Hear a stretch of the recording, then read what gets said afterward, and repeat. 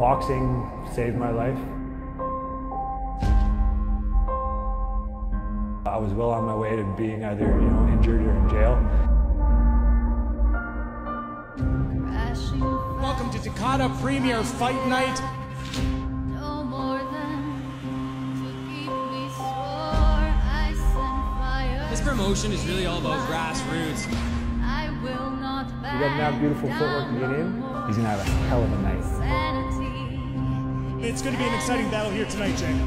Where to look This is the excitement that we bring to promoting boxing.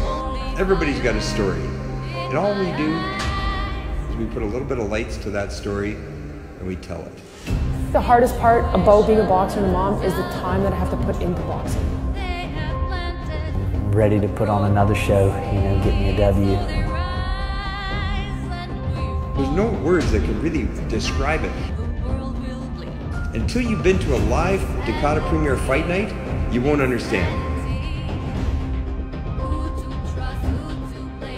The chaos at the beginning is essentially the quiet before the storm. And the storm are the life changing events that happen in that ring.